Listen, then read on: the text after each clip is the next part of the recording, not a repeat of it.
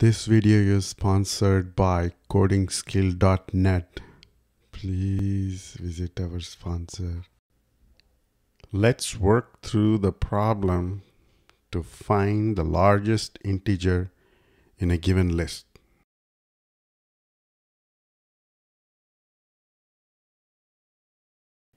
In the problem decomposition step, we split the list by half. So if we have nine elements, splitting this in half will give us 5, 1, 12, and 4, and 2, 5, 6, 3, and 7.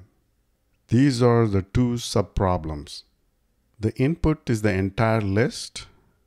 The result is 7, which is the largest element. In the reduction step, the first subproblem has the largest element 5. The second subproblem has the largest element 7.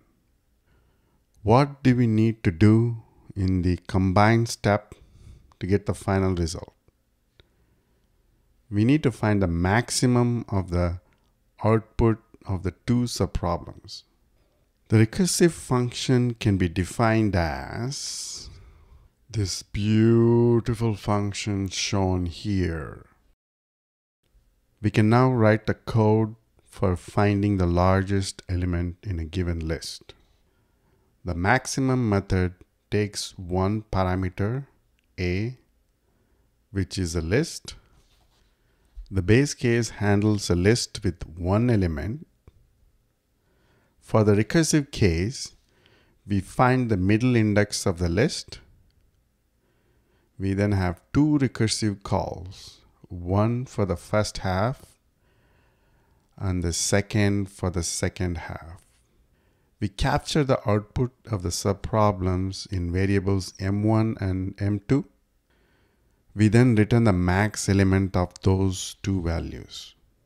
There are two versions for the implementation version 1 that takes one parameter and version 2 that takes three parameters.